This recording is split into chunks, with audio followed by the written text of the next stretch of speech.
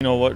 What has this last uh, two weeks been like for you from the release and then getting a call shortly after Durant's injury? I, it was refreshing. I mean, I got to be able to go home and see my family, be with them, talk to them the whole time, and kind of think about things. We actually were able to go down to the lake, and uh, I just basically sat with my dad and my brother and just talked about a bunch of uh, situations, circumstances, which route I wanted to go, what I wanted to do, and everything like that. Um, wasn't really uh, concentrating on anything up here or anything in general. I was just kind of like decompressing, and uh, it, it's crazy how everything transpired. I mean, uh, calls got uh, thrown into my agent from a bunch of places and everything, and and um, to be honest with you, I didn't think I would be back here, but obviously with the opportunity of knowing the team and, and, knowing the players that are here, the system and everything like that, I'm glad to have that opportunity. I'm thankful for it, and uh, just moving forward, uh, just really just wanted to, whenever I was down there, is kind of just put everything in the past. Obviously, learn from it, but understand that you're just moving forward and and taking what you've learned from the past and being able to apply it to now, not really thinking about it.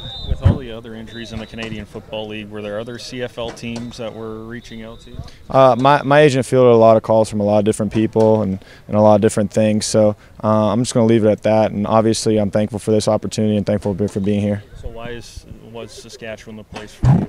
Uh, I think that they have a winning culture here. I mean, uh, I think they have great players here. The system's great. Uh, I thought I was having a great camp whenever I was here. I feel comfortable within the system. I think that the system is, is really quarterback friendly, being able to make a lot of decisions within the pocket and being able to spit the ball out everywhere. So, um, whenever I got the call to come back here, I felt like it was a no brainer for me to be able to have the most success is to be in an offense, which I already knew, and be able to compete right away. Were you blindsided? Not. I mean, everything was installed by the time that I, I, was there. So I mean, I knew everything from day one that we were able to install today, and being able to go over every over everything. And uh, I made sure that I came in and got all the uh, the plays and everything just to refresh myself, go over the calls, go over the, the different looks and everything. And uh, started watching Toronto. I was able to go in day one meeting and put put my thoughts to those guys and make sure they understood what I was seeing and, and be able to help them out. Were you blindsided by that original release? Uh, yeah, I mean, I think me and a lot of people were. Uh, obviously, everything happens for the reason that it does, and uh, we're just moving on from it. I'm not really looking at it, not really thinking about it. Now I'm just thinking about the present now and, and moving forward. What do you see your role on this team now, Tino? Uh, being the best player I possibly can be, making sure that I'm in there, studying as much tape as I can, coming out to practice, making all the reads, throws, and everything like that, and just making sure that I come every single day ready to work. What was the advice your dad gave you?